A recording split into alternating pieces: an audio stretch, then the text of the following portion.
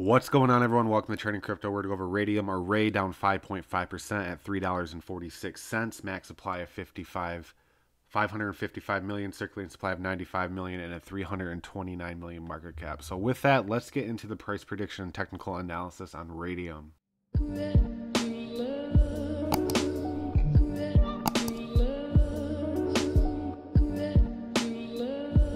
So let's get into Raydium. The RSI is below 50 and we're curling back up. And even with this drop right here, we did maintain our bullish momentum. We did not make a lower low. So the ladder up effect is still in effect. So personally, since the RSI is low and we did not invalidate this ladder up effect, I'd keep an eye on a movement up to $3.84.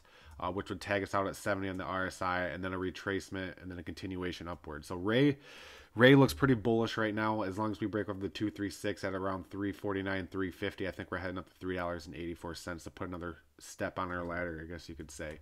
Uh, worst case scenario is if we get ejected to 382 and head down to this main support here, that could be the start of a downtrend. But I don't think we're doing that. I think we're heading up to 384 uh, to make another step on our ladder. The RSI is reset, everything's reset. You did not make another low a lower low, even with the big drop in Bitcoin and stuff like that.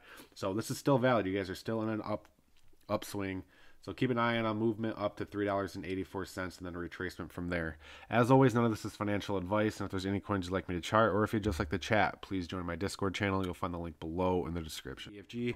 If you would like to support the Charting Crypto channel, you can head over to my OpenSeas, which you can find the link below in the description. I have two different collections. One's just supporting Charting Crypto, which has my achievements of subscribers turned into NFTs. I have another one, Charting o- Crypto OG, which gives you perks for owning these NFTs.